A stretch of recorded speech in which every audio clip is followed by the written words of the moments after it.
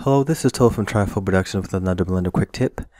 And in this quick tip, I'm going to show you how you can create low poly rocks very quickly and easily with a free add-on called Low Poly Rock Generator. It's open source, which means it's free. I'll leave a description of that, uh, or a link of that in the description below this video.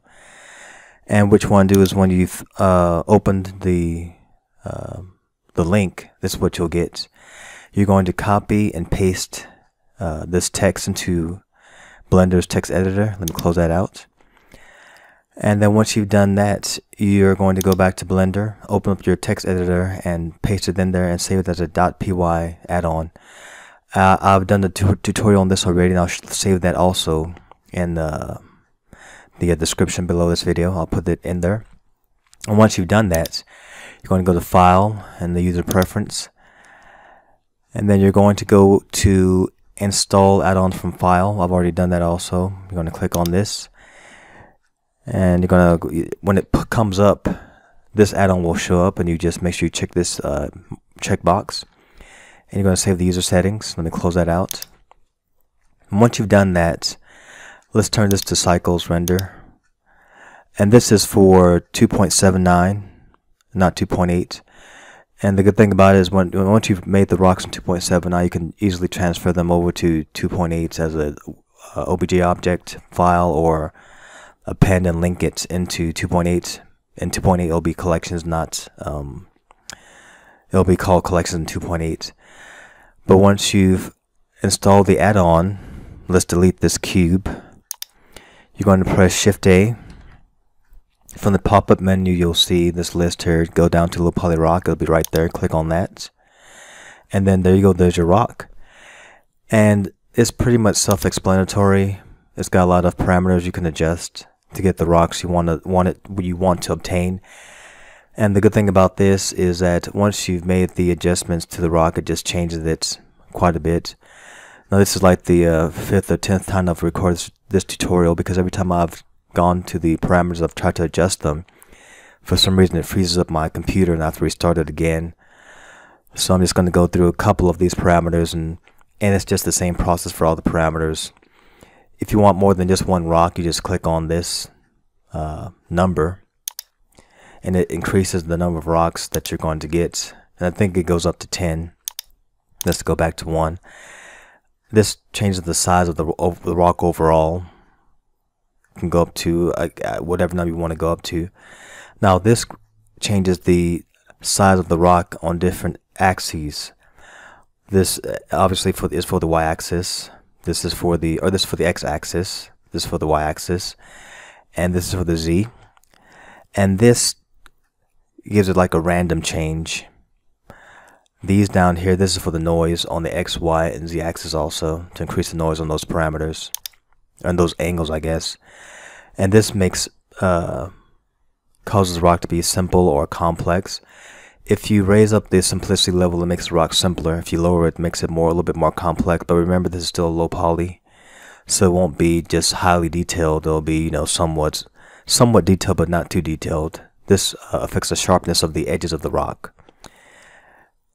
This causes the rock to pretty much change randomly. The random seed now is 0. Just click on that to 1. It'll change the shape of the rock. Actually, that's what it does it in small increments, so you won't really see like drastic changes unless you make it like extreme, an extreme number. Let's put that back down to 0. And once I said, once like I said before, this is pretty much self-explanatory. All these parameters affect the size and the dimensions of the rock. You can click on advanced settings also. And this here changes the pattern of the rock, the Verona, Voronoi weights. Because if you look in the blender, it has a Voronoi pattern in the, one of the shaders. And that's pretty much just like clouds. So it'll put pits in the rock and make it look different as you increase the size of the, these parameters here subdivisions, you can increase that more to get more uh, subdivisions in your rock to give give it a more realistic look.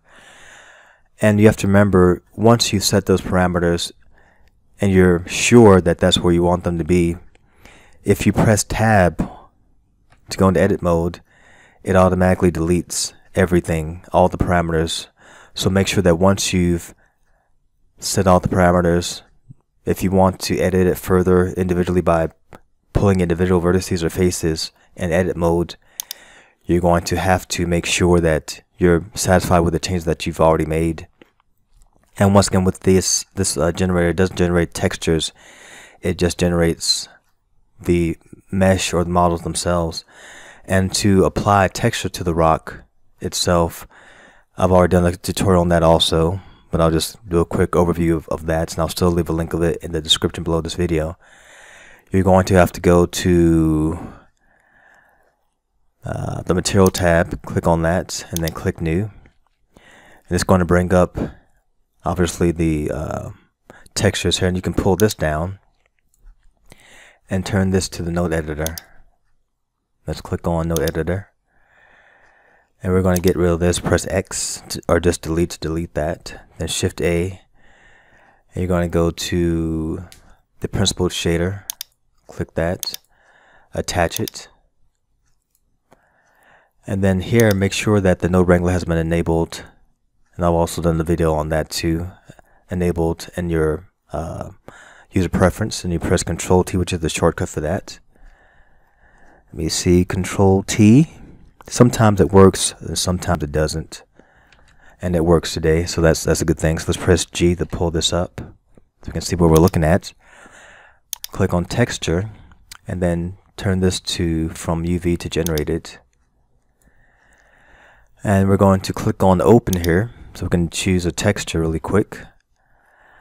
Uh, let me see. Let's go up. This is in my external hard drive. Let's look for, let me look for blended textures. I'm trying to pretty much speed this up because I really don't want to record this again. it's like the 10th time I have had to do this because, uh, like I mentioned before, uh, my system freezes up and it's got a pretty much a brand new strong graphics card installed into it. So I don't know why it's actually doing that, but let's click on this texture here. Click on op open image. And then let's turn this, uh, the viewport to material. And you can see that we've applied a texture to it, but it's pretty much stretched out of proportion. It looks pretty weird and bad.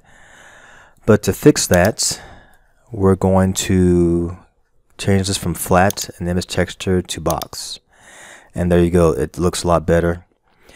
So that's how you can pretty much make a low poly rock in Blender using that free add-on that I referenced.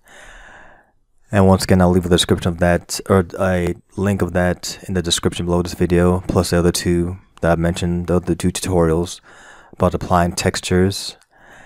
And the other one that I mentioned also, which was how to turn a script into a .py add-on. But once again, that's today's Blender quick tip. I hope this was helpful to you who are listening. And um, I guess I'll see you guys on the next one. You have a great night and take it easy. All right, bye.